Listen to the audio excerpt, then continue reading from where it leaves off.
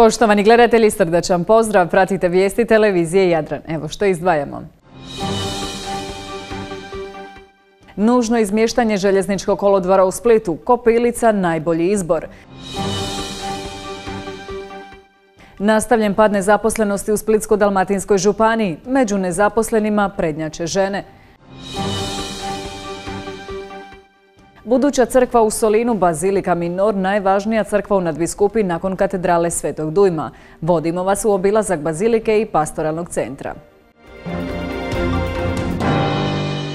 Iz godine u godinu Splitska trajektna luka ruši rekorde po broju prevezenih putnika na srednjo-dalmatinske otoke. A kako se povećanje očekuje i ove godine, ponovno će Spličane preko ljetnih vikenda dočekati velike gužve na prometnicama koje vode prema portu. Situaciju dodatno otežava i činjenica kako se uz trajektnu luku nalaze i željeznički, ali i autobusni kolodvor. Zbog poboljšanja prometne povezanosti potrebno je konačno i kompletno rješenje tog područja, a jedan od načina je izmještanje željezničkog kolodvora na Kopilicu, koja godinama zjapi prazna i neiskorištena, a ima potencijala da postane glavni splitski željeznički kolodvor. Još 2007. godine ondašnja vlada Republike Hrvatske donijela je odluku o razvrstavanju željezničkih pruga i dala se na svjetlo za izgradnju glavnog željezničkog kolodvora u Kopilici. Osim glavnog željezničkog kolodvora na Kopilici je trebao niknuti novi autobusni kolodvor kao i novi poslovni centri. Prošlo je točno 11 godina od te odluke vlade, a Kopilica i dalje zjapi prazna a ima kapacitet koji zadovoljava zahtjeve Splitskog glavnog željezničkog kolodvora. Kolodvor Splitu svakako treba zbog toga jer je e, ta vrsta prometa okosnica nekog suvremenog prometovanja, posebno što se mi moramo rasteretiti kao grad od ovog automobilskog prometa po svim instancama, a što se tiče samog njegovog premještanja, to je tema koja je jako teško ovako pričati. Zašto? Zbog toga jer postoje pro i kontra argumenti, znači jedan od argumenata recimo za postojanje svega toga u, na istočnoj obali je zapravo da imate tu neku refrakcijsku točku gdje imate sve vidove prometa koji se lako onda dalje jeli, šire. Međutim, s druge strane, zagušenje koje je objektivno i ova prometna infrastruktura koja je postojeća jako je problematična na onom mjestu, jer zapravo imate sve glavne vidove prometa začepljeno na dnu nekoga trijeva. Jel? Žuvela smatra kako je to jedna jako kompleksna tema koju treba vrlo slojevito sagledati, jer se radi o odlukama koje mogu utjecati na razvoj grada, u narednih 50 godina. Mislim da jedna adekvatna analiza je stvarno, stvarno iznimno važna, interdisciplinarna. Tu nisu dovoljne samo arhitekti, tu mora biti prometaži, tu mora biti ekonomisti. To treba se stvarno sjesti i sagledati e, što mi želimo da biti u razvoju, budućemu i po, tome i postupati, znači predvidjeti neke trendove, predvidjeti naše potrebe i onda po tome postupiti. U željeznički na Kopilici je trebao niknuti i autobusni kolodvor. Bilo je ono da bude ta neka nova točka pa da se eventualno još stanice imaju zasebne prema ovoj trajektnoj luci i tako dalje. Bilo čak priče i prebacivanje trajektne luke i tako dalje. to su sve te priče koje kažem vam imaju argumente, ali to kad mi pričamo na ovaj način, e, to su sve neka stajališta trenutačna, ali mislim da je jedna prava analiza i neki trus mozgova da može iznjedriti stvarno kvalitetno rješenje koje će bi zapravo se betonirati kao stvarno i ono koje će se u budućnosti napraviti. I dok jedni smatraju kako je potrebno rasteretiti centar grada i trajektnu luku prebacivanjem jednog ili čak oba kolodvora, drugi smatraju kako su upravo blizina centra i trajektne luke razlozi zašto se kolodvori ne bi trebali micati sa sadašnjih lokacija. Bilo bolje da je goru Kopilci. Zašto mislite? Zašto? Ovdje i, i brodovi, kruzeri i autobusi, vlakovi, ovi stari, to nije struja, to je otrov. Kako god pogledaš, pogledaš šta gledaš. To je sramota. A u Kopilici ima mista mogu napraviti tip top. Meni osobno ne odgovara, ali to je dobra pozicija. To je bolja nego ovdje jer je ovdje velika gužva s obzirom na trajaknu luku. E, ja više volim da je tu. A A, tu je sve bliže e, autobusi, jedrolinija i sve, i centar grada. Zbog da je bilo guže, toliko je sve na jednom mjestu i sve to. to. Isto neki, neki, neka trgovina. Oni su neku veliku trgovinu ima sve tako i za promet i za sve, i za vlakove i za autobusne kolodvore. Mislim da bi bilo dobro da jedan od ta dva se premisti, drugi ne. Sad kako bi, da li da se ovaj tunel pretvori u cestu, pa jednosmjernu cestu koja bude zapravo izlazi iz luke, ili da ostanu tračnice pa da bude neki kao polumetro gdje bi ljudi premostili ovu gužvu u gradu, dolazili na trajekt direktno tim vlakom. Ali autobusni po meni ne bi trebalo primistiti jer e, tu je transfer, to je terminal, e, ljudi dolaze autobusima na brod, broda na autobus ili da se stavi pola pola ili ima rješenja ako ima volje. Predsjednik Splitskog društva arhitekata smatra kako nije dovoljno samo prebacivanje kolodvora, već i izgradnja nove prometne infrastrukture diljem cijelog grada bilo kakvo građenje, izmještanje i to bi e, svakako trebalo povući i građenje infrastrukture šire, znači novih cesta, novih e, trasa, novih i ne možemo mi samo reći na postojeću infrastrukturu, to sad ću ja staviti ovo ovdje, nego treba razraditi to kroz neko širo djelovanje, a ja se grozim ljeta upravo zbog toga, jer mislim da nije to problem Splita, nego kada gledate cijele ove regije, e, svake godine sve gore i gore, ništa se ne radi po tome, mislim da ne totalni kolaps, nego da kvaliteta življenja građana građanima Splita u ljetu je toliko minimalizirana da je to postalo stvarno skoro pagadljivo. Split bi tako trebao donijeti cjeloviti plan koji bi obuhvaćao izgradnju nove prometne infrastrukture kako bi se osuvremenile splitske prometnice, a kolodvori na Kopilici samo su jedan od brojnih nedosanjanih splitskih snova na koje ćemo, kako se čini, još dugo čekati. Splitsko-dalmatinska županija ove godine bilježi pad nezaposlenosti. Na kraju veljače pri Hrvatskom zavodu za zapošljavanje regionalnog ureda Split za područje naše županije evidentirano je 15% manje nezaposlenih nego u istom mjesecu prošle godine. Međutim, problem nezaposlenosti najviše pogađa mlade žene. Iako podaci Hrvatskog zavoda za zapošljavanje regionalnog ureda Split potvrđuju kako je ove godine manje nezaposlenih u Splitsko-dalmatinskoj županiji, izgleda kako to baš u realnosti i nije tako. Više od deset godina svoj posao bezuspješno traži 26-godišnja Matea Letonja, majka malodobnog djeteta. Ja sam poslala e, pete za ovu sezonu, sam poslala više od 25 molbi za svugdje i završila sam u Milni kao preradi ribe. I to sam radila mjesec dana i to nije bilo izdrživo i onda sam se vratila nazad i od tada nema posla. Već godinama u Splitsko-Dalmatinskoj županiji najtraženija su ona zanimanja u sezoni. Prodavači, konobari, radnici u održavanju čistači, kuhari, pomoćni kuhari, kuhinski radnici, sobarice, medicinske sestre i mnoga druga. No primjer Mateje Letonje koja traži posao za pomoćnog kuhara ipak piše drugačiju priču.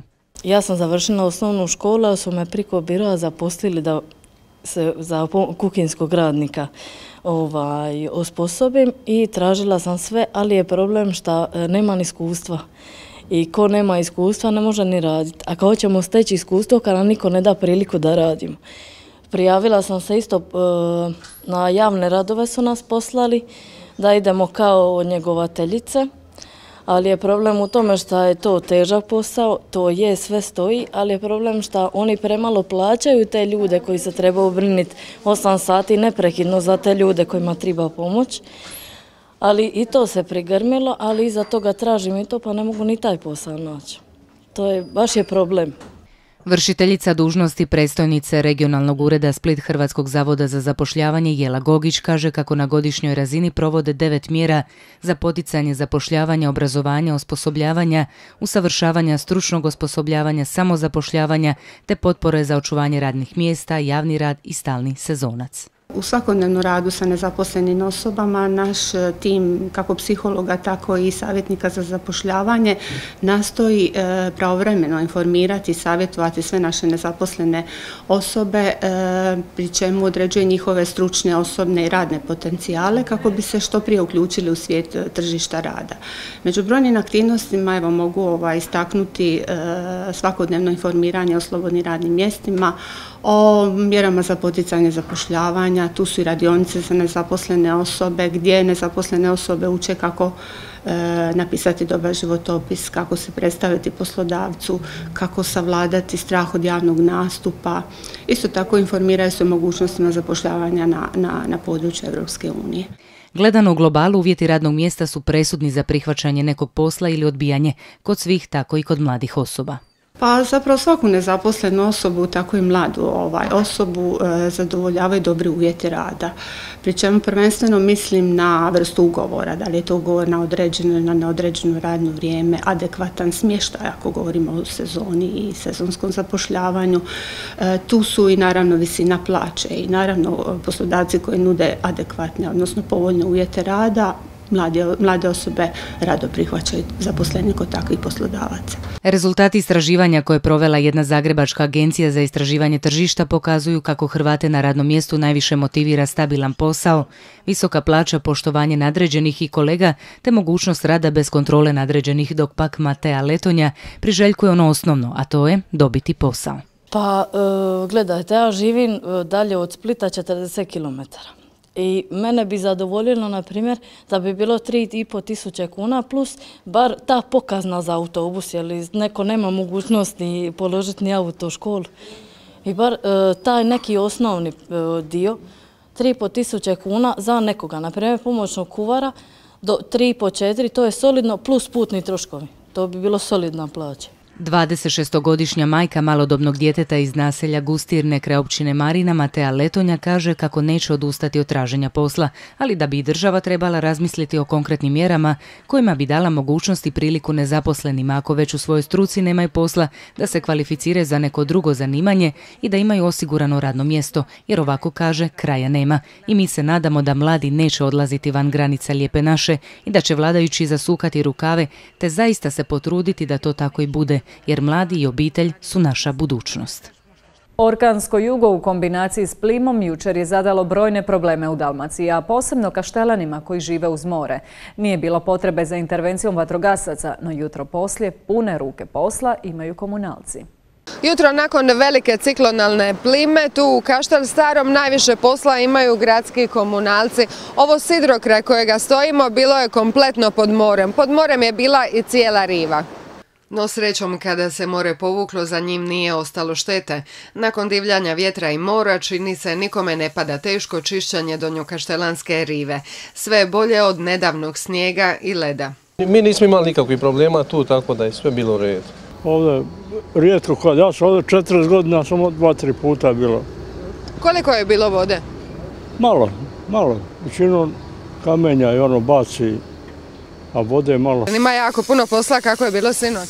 Pa dobro, evo, malo smo poplivali ovdje, izbacija je ovaj, e, malo je more izbacilo i tako, dobro je.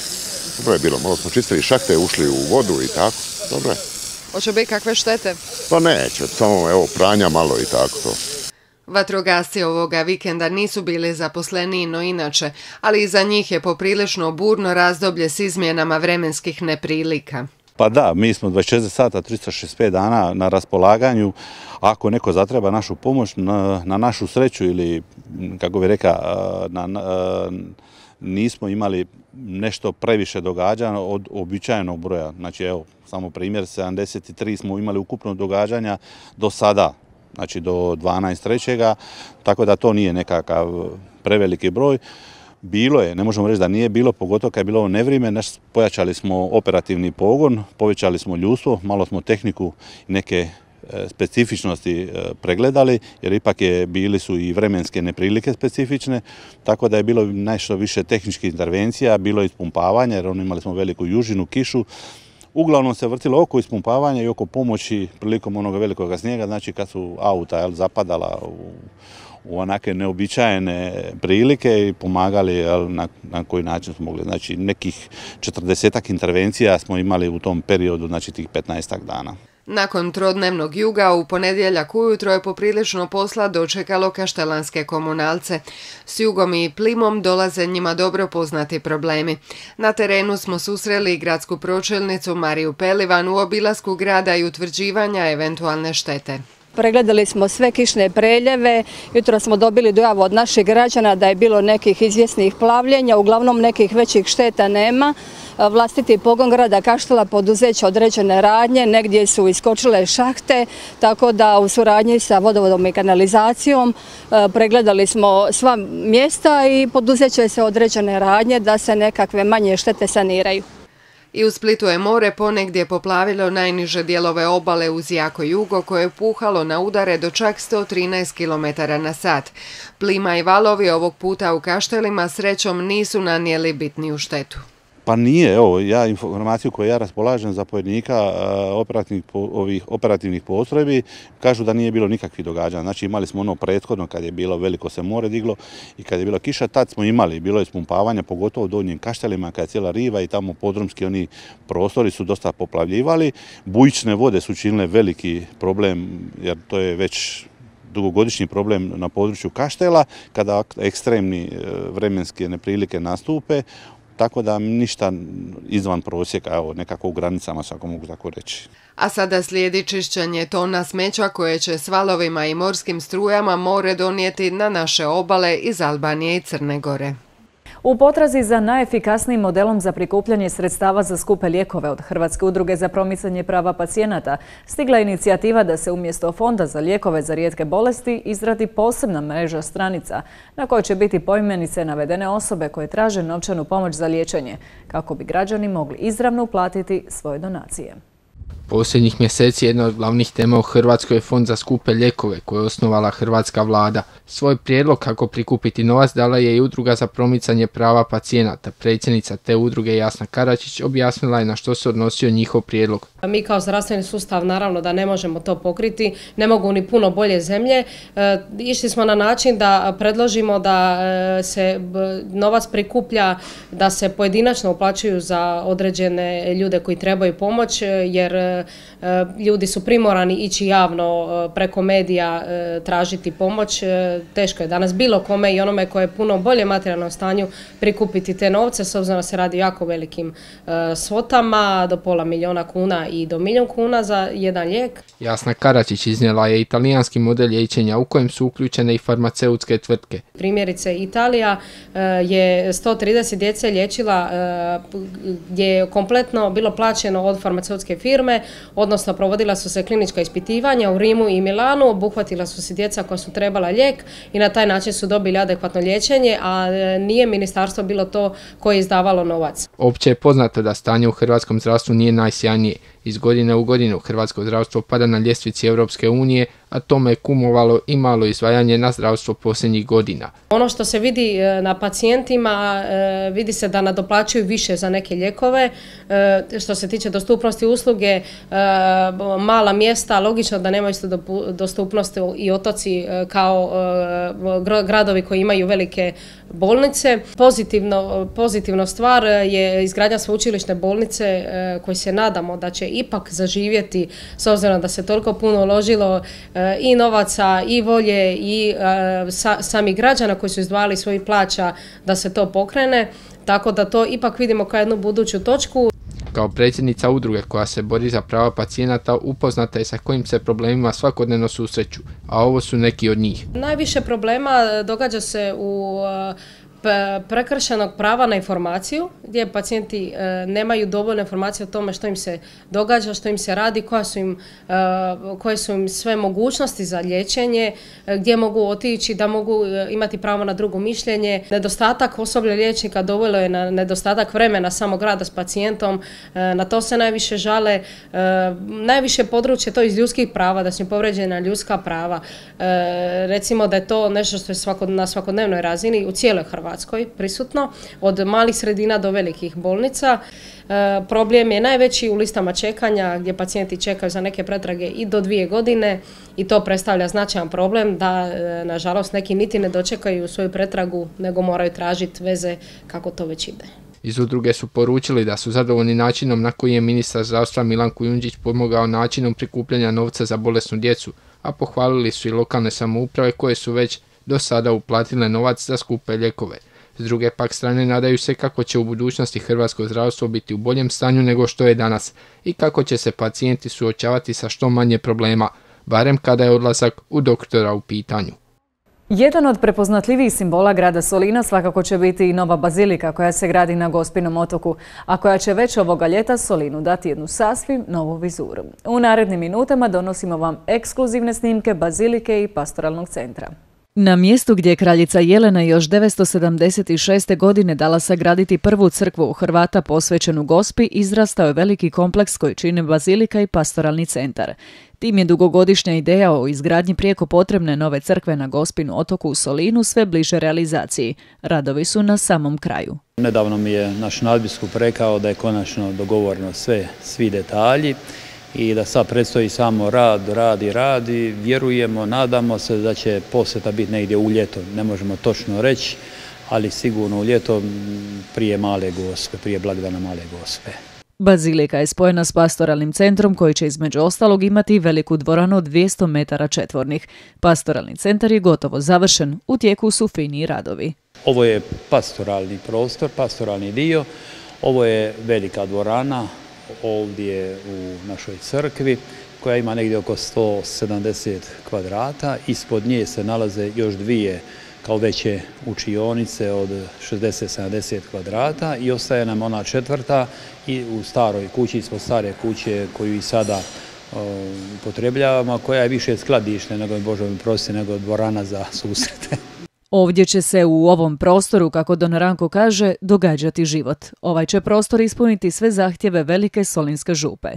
U crku koristimo samo nedjeljom, pogotovo bazilika, ona će biti samo za nedjeljne susrete i velike blagdanske, a dnevna sveta misa bit će u crkvi Gospe od otoka. Na taj način će ona i živa biti i održavati se. E, ovaj prostor ovdje je za vjeronaučne susrete, susrete obitelji, molitvene susrete i za razno razna događanja koja imamo u župi, koja će biti još više kad imamo jedan takav prostor. Radovi na Bazilici počeli su u listopadu 2013. godine, a sam nadbiskup Marin Barišić je najavio da će buduća crkva biti Bazilika Minor, najvažnija crkva u nadbiskupi nakon katedrale Svetog Dujma u Splitu.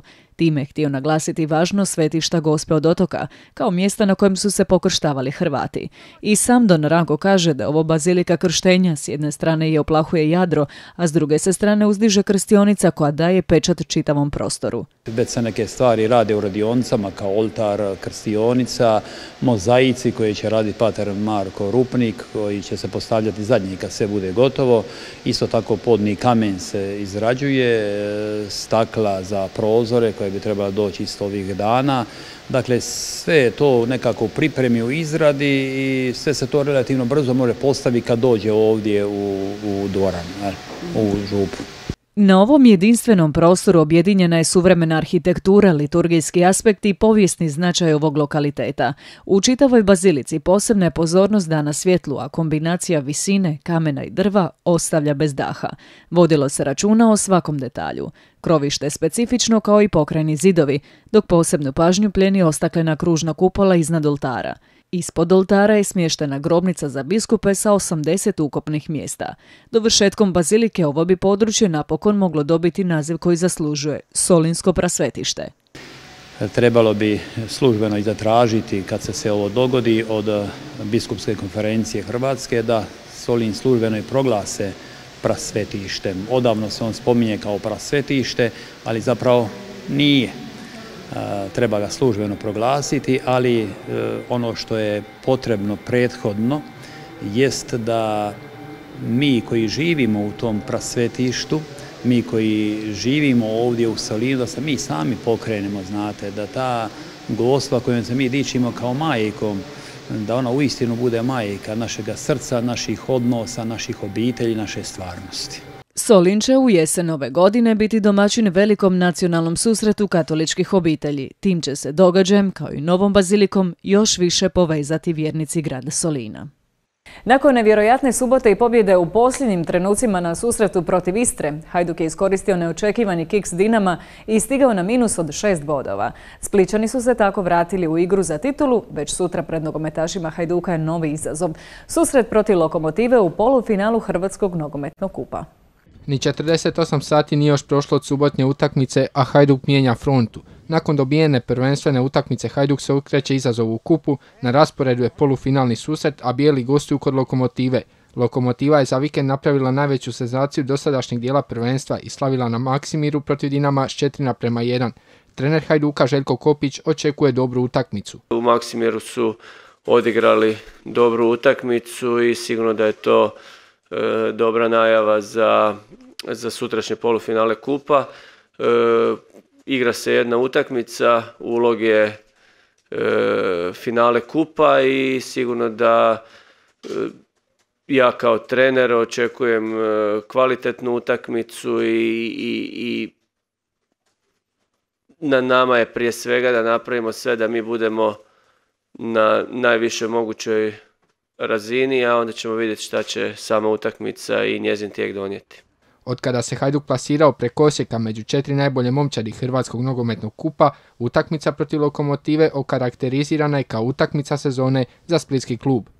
Pa za mene je svaka utakmica, od kad sam došao, počevši od Istre u Puli, pa preko Osijeka doma, pa Osijeka u kupu tamo je bila utakmica sezone, tako da mm, nemam problem s tim da, da budem svjestan zahtjevnosti svake utakmice na taj način e, radimo, na taj način dajemo sve od sebe da da svaku utakmicu izguramo na pravi način i da ostvarimo postavljene ciljeve i na taj način ćemo se pripremiti i za sutrašnju utakmicu i napraviti apsolutno sve što je u našoj moći da igramo prije svega dobar nogomet i nakon toga da ostvarimo i, i rezultatski cilj, a to je prolazak u finale kupa. U Zagreb neće ići Memola i Tudor koji su ozlijeđeni dok su upitni nastupi Futaća i Almeide.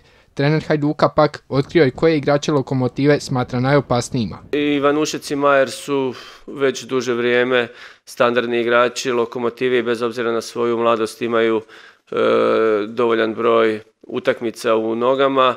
E, ne bih sad išao u individualno raščlanjivanje kad Strati je pokazao i tu e, utakmici protiv naših e, juniora i, i na Maksimiru da posjeduje određene kapacitete, da posjeduje potencijal ovoga, i to je samo jedan od plejade tih mladih igrača lokomotive koji dobivaju priliku. Ove godine promijenila su se pravila pa se tako igra samo jedan polufinalni susret. Hajduk je spreman i na 120 minuta igre, ali i na eventualne 11 terce, kaže trener Kopić. Mislim da smo dosta utakmica pokazali da kako utakmica ide kraju da možemo e, podići i tempo i intenzitet e, naše igre što se tiče eventualnih 11 teraca. Mi u svakom treningu u kojem vježbamo ofenzivne prekide, kornere, polu distancu, isto tako vježbamo i, i te 11 terce, tako da nema nikakve tu razlike u pripremi ove utakmice sa svim ovim utakmicama koje smo pripremali do sada. Utakmica će se igrati na stadionu Krančevićevoj ulici, na kojem nije igrano više od mjesec dana. Poznato je kako hrvatski travnjaci izgledaju u ovom dijelu godine, no trener Kopić tvrdi kako neće tražiti alibi u travnjaku i kakvi god da budu uvjeti Hajduku, jednaki takvi bit će i lokomotivi. Nama je da se, kao što sam govorio i za Vinkovci i za neke druge utakmice, da se adaptiramo na teren na pravi način, kako nama, tako i lokomotivi, tako da tu nema nekakve bitne razlike. Susret polufinala kupa između Hajduka i Lokomotive na rasporedu je sutra od 17 sati i 30 minuta. Drugi polufinalni par čine branitelj naslova Rijeka i prošlogodišnji finalist Dinamo, a taj susret je na rasporedu početkom travnja, također u Zagrebu. Finale se ove godine igra u Vinkovcima 23. svibnja. Još jednom prisjetimo se najvažnijih vijesti dana.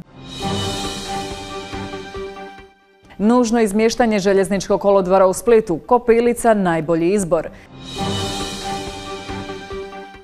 Nastavljen pad nezaposlenosti u Splitsko-Dalmatinskoj županiji. Među nezaposlenima prednjače žene. Buduća crkva u Solinu, Bazilika Minor, najvažnija crkva u nadviskupi nakon katedrale Svetog Dujma. Vodimo vas u obilazak Bazilike i pastoralnog centra. Poštovani gledatelji, pratili ste vijesti. Ostanite i dalje uz program televizije Jadran. Srdačan pozdrav!